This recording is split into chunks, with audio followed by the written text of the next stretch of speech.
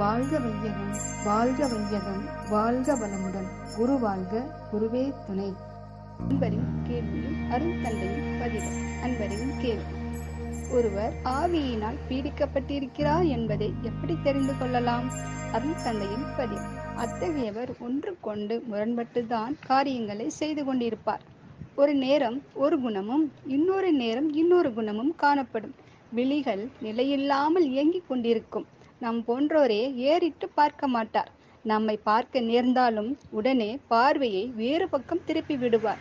ரெஸ்ட்லெஸ்ஸாக இருப்பார். சில நேரங்களில் வைலண்டாகவும் மாறுவார். வாழ்க வளமுடன். அருள் தந்தை வேதாத்ரி மகரிஷி அவர்கள் எழுத்துருவாக்கும் கோ பொது மனவளக்கலை மன்றம் அறக்கட்டளை. வாழ்க வளமுடன்.